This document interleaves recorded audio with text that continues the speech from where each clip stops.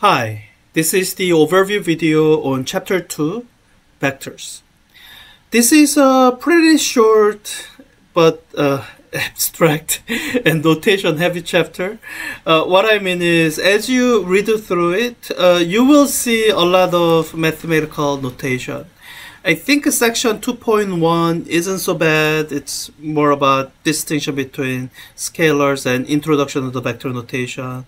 But as you get to section 2.2 and 2.3, you are going to see probably more method notation per line than elsewhere in the textbook because it's the mathematical material.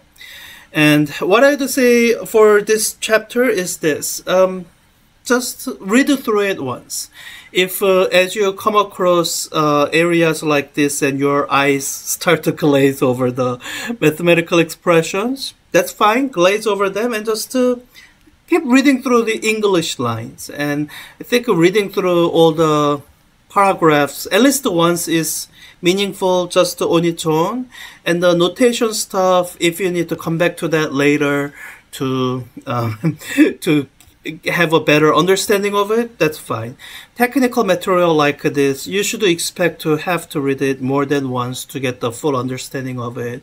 So my first recommendation would be just read from cover to cover. Just read through it once. Don't worry so much about understanding everything. Things that you didn't fully get the first time you read it, that's fine as long as you put in the effort. I think you'll gain something out of it. This is uh, part of what I would refer to as mathematical maturity.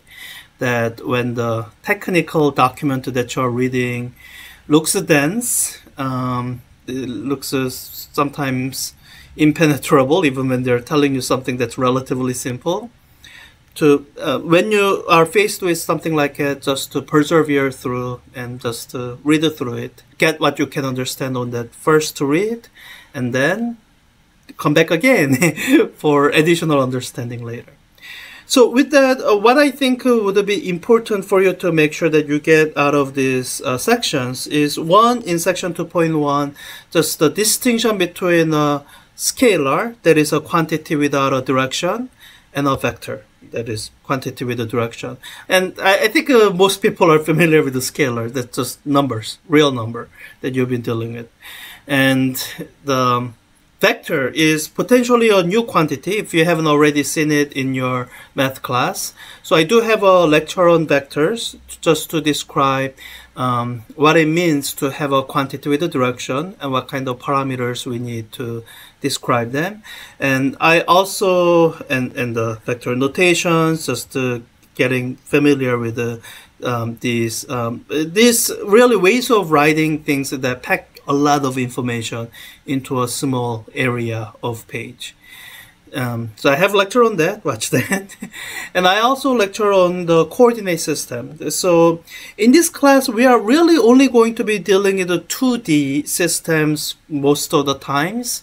And um, three-dimensional or systems that need a full three-dimensional descriptions, uh, we try to stay away from them as much as possible. And when you are dealing with the two-dimensional systems, uh, let me see here. Um, this diagram here kind of captures everything that's needed to describe that vector in two-dimensional system. And it also gets into the, the, the two different coordinate systems that you will see both in the textbook elsewhere and in the lecture. One is the Cartesian system that's based on describing the x and the y components of a vector. And I think uh, a lot of people have already seen that in algebra, trigonometry classes. Whenever you draw XY coordinate system, you are kind of getting geared up to do that. And the other system is the polar system. And although here you are not seeing polar coordinate system being officially defined, you are seeing the elements that's needed for the polar coordinate system. That is the magnitude, that's the scalar aspect of a vector, the, just the size of something and the direction, the angle, usually measured from the x-axis. Um, so if you have theta with no other explanation, it's usually measured from the x-axis.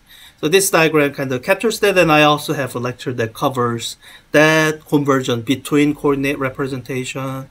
And your textbook, again, in its uh, full formal approach, it'll describe all these, um, including, I think, the yeah, polar coordinates. So do read through them, uh, get what you can from your reading, watch the lectures, get what you can from the lectures, and then come back to these as uh, it might be helpful. And uh, vectors in three dimensions again, uh, we're gonna try to stay away from three dimensions as much as we can. There's one homework question this week which will cover uh, vector in three dimensions, and I have a video that is described as how to do that. In fact, uh, so that uh, one question that you will see in the problem set, it covers one thing that we'll be skipping for the most of part. So section 2.4, product of vectors. Um, it covers the scalar product or the dot product or also the inner product and the vector product um, or the cross product or the outer product sometimes. um, and uh, we so your textbook covers it here. We are going to be skipping it for the most part until later in the semester when we need them for specific uh, physical idea. So um, the dot product or inner product will become important once we introduce work, which comes in when we are talking about energy.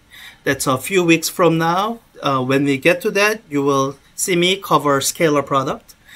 And the vector product or cross product will become important when we do rotational quantities, especially angular momentum, like um, there's uh, something called a precession that you will see in something like i don't know 12 13 weeks. When we get to that part i will cover pro- cross product then for the time being i do say you know there's no harm in skimming through the section so skim through the section but don't worry so much about understanding applying them. We're going to be skipping it for the most part. And the third and the last important thing i want you to get out of this chapter is uh, in section 2.3, algebra of vectors, it's probably a fairly abstract uh, section. And what, what they cover in this section, I think you are going to be in a better place to fully understand the significance of all these things when you are taking linear algebra. Um, but for the time being, read through it, uh, get whatever you can understand. And what I would say is that this uh, whole algebraic manipulation of symbols, kind of attention to the notation. All these stuff are the things that will be important um, at higher levels, like in notation like this.